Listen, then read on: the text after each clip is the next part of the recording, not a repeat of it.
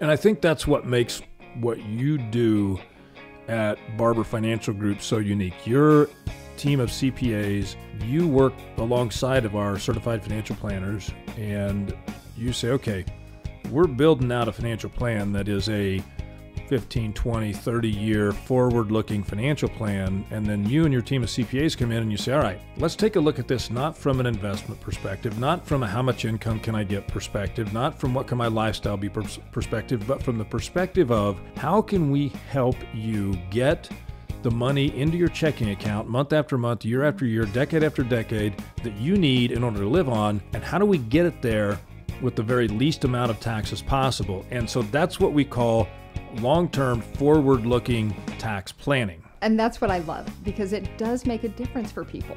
And we need to be doing that. And it doesn't have to be the ultra wealthy, it can be you know that normal person that we deal with. Most of the people we deal with you know we want the 500000 or more of investments because that's where people really start being able to have some flexibility. It's not that we don't care about those less but it's harder to be able to control taxes because you don't have as many options. And that's what we want to do is look and say how can we help you? What's your situation? And let's look and create your future. I went out for the team and I was kind of on a cut line, JV, varsity. So they sent me down to JV to practice for maybe a week. And then uh, injury happened on the varsity level. I came up on varsity and stayed on varsity ever since. And I start I was starting running back, uh, and uh, three years in high school. Then got a uh, scholarship at Cal State Fullerton, and the rest is history. Okay, so Cal State Fullerton. Did, were you running back there too? Yeah, you know it's funny. You know, I, I didn't play any defensive back in high school. I got recruited out of college as a running back, and well, I could have went either way. So I go to Fullerton my freshman year, and we had like 15 running backs in the running back room, and eight of those guys were on scholarship. So we're about to start our meeting, and Gene Murphy, our head coach, walked in said, guys, we got a problem. We need defensive backs. Anybody want to play defensive back? So I looked around and uh, no one raised their hand. So I raised my hand and I went from offense to defense uh, and learned how to play defensive back corner and started my freshman year after the third, second to third game of my freshman year. And then um, had a great second year, sophomore year, junior, senior year, All American, and then uh, got drafted in the second round by the Giants, which is amazing. I'm not afraid of taking advantage of opportunity because it's all you want, right? Right.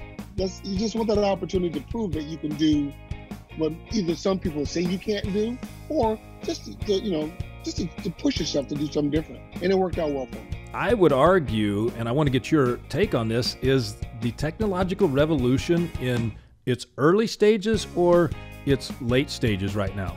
Historically, there's always a revolution going on, right? Um, you know, people were upset when the, the looms were invented to make cloth, right? So the Luddites came through and threw their wrenches and shoes into the works because they thought it was immoral that machines were doing the work of, of humans you know, now we are in the robotic revolution where there's talk of self driving cars and should you even own a car because now you're going to call the Uber of the future and a personless car is going to show up and drive you to all your appointments more efficiently, safely, in a more ethical way, is the argument, than you owning a car. And, you know, are truck drivers going away? Are there enough truck drivers in America today? No, by the way.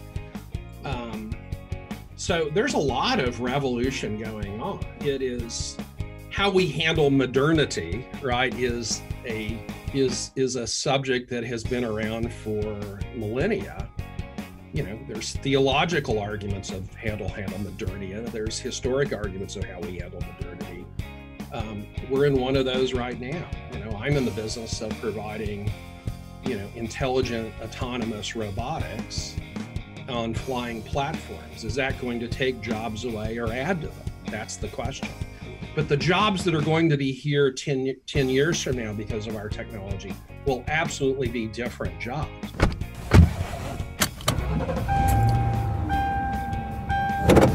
Starting your route to retirement